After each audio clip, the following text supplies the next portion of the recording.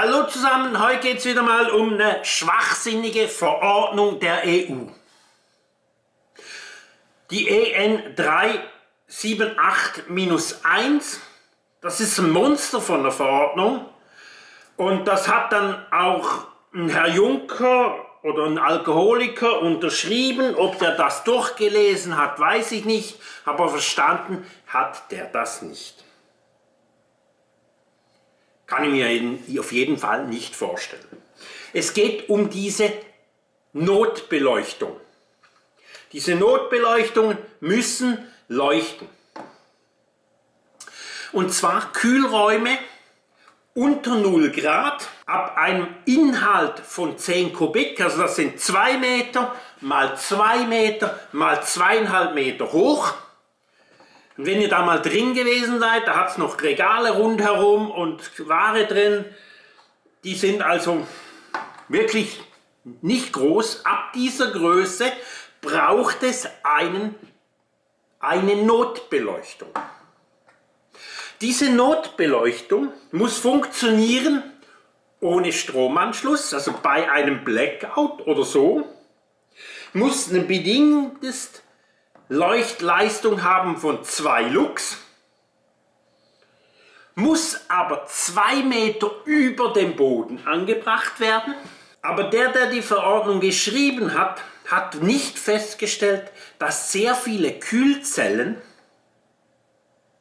nur eine Innenhöhe haben von 2 Meter. Wie soll man dann diese Leuchte auf über 2 Meter anbringen?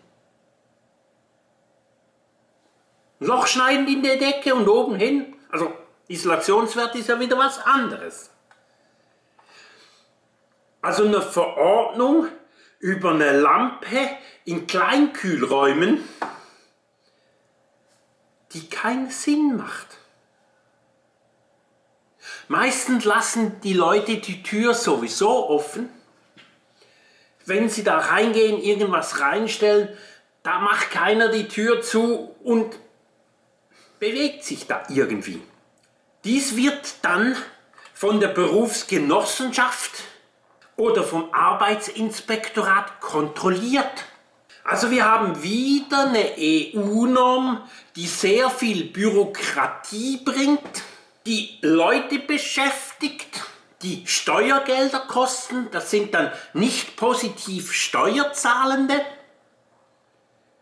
Das Geld muss ja dann irgendwo wieder herkommen. Und somit steigt ja die Bürokratie. Alle zehn Jahre, verdoppelt sich die. Wir können mal ausrechnen. Im ersten Jahr haben wir 1%, nach zehn Jahren, nach, nach zehn Jahren haben wir 2%, nach 20 Jahren 4%, nach 30 Jahren 8%, nach 40 Jahren 16%, nach 15 Jahren 32 Prozent nach 60 Jahren 64 Prozent und bei 70 Jahren wären wir theoretisch über 100 Prozent Bürokratie. Ich habe mittlerweile jeden Tag so eine Bürokratiehürde.